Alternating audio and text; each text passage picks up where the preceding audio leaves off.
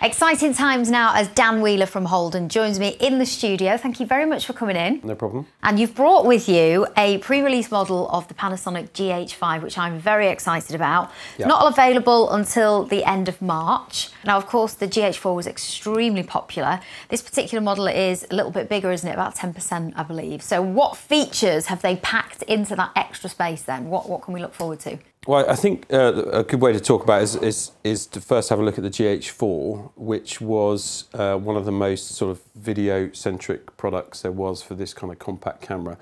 And people love the GH4 because it did video better than all of the others in, in terms of the competition that was available. With the GH5, they've taken that to another level. So you've now got 4K recording in 50 or 60 frames. Wow. You've got 4K recording in 422 10 bit, which basically means you've got a more robust picture that you can grade more in post production, uh, more color information, more exposure information in there. Yep. You've got so many things. You've got 180 frames slow motion, which uh, I don't think there's any kind of camera available at this price right now or this size that can can do that. You've got a lot of stuff on here. You've got in-body image stabilization, which means that you've got five-axis image stabilization if you use a, a lens that already has stabilization in it.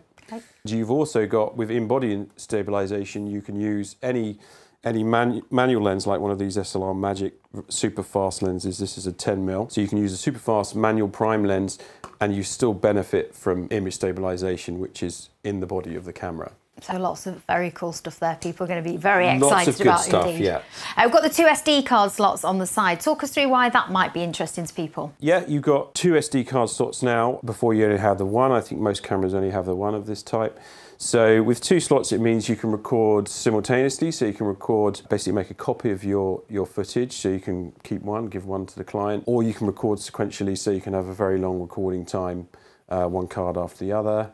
Or you can choose to allocate one card as video and the other card as, as pictures. So you can keep your stills and, and video completely separate. You mentioned there about recording time. Another cool feature of this is the ability to record for as long as the SD card will allow you to, rather than before when it's sort of cut off at sort of 20, 30 minutes.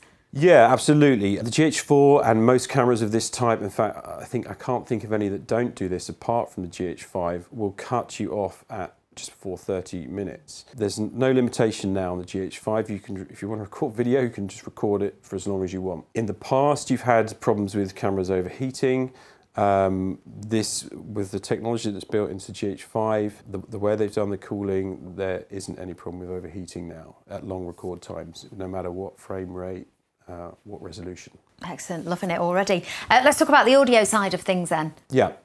Okay, well, there is an optional XLR block now, which um, is called the DMW XLR1. This basically gives you two XLR inputs. Now, Oh, fab.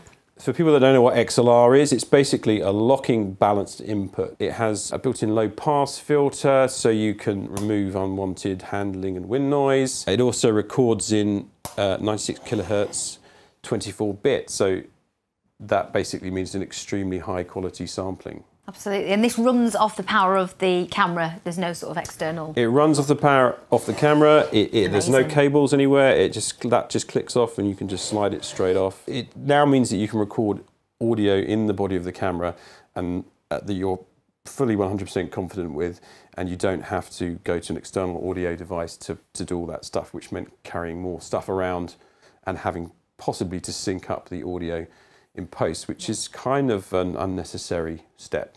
Of course, yeah. I mean, this is this. I knew I was going to be excited today, but it just Yeah. keeps giving this camera, doesn't it? What Yes. else are you particularly excited about? What features stand out for you? You've got whole body weather sealing, splash proof, dust proof, and now apparently freeze proof. Wow. Don't ask me to what temperature. Have we ask, tested that one? don't ask me to what temperature. I think it's something like minus six degrees, but uh, Wow. yeah. Okay, so this is great for sort of, you know, if you're out and about doing any sort of action filming as well, out in the wilderness. Yes. It should withstand the test of time there. Yes, absolutely. Fabulous. Now, um, in terms of video, we've mentioned some of the amazing features 4K video, the ability to do slow motion, the two SD cards. Let's talk about the still side of things very quickly because let's not Yeah. forget that this is an incredibly capable stills camera as well. So you've got an entirely new processor and you've got an entirely new sensor. The sensor is now, I think, 20.3 megapixels. That combined with the faster image processing means you're getting infinitely better stills as well. One of the exciting things for me is the in, in-body image stabilization. That's something which is, I think, really useful, uh, an overlooked feature. Brilliant. Well, we'll leave it there. As you say, there's plenty more features that we haven't managed to cover off today, but I think you've done a really great job of walking no us through the main ones. Thank you very much for our sneak peek today. No problem. Cheers.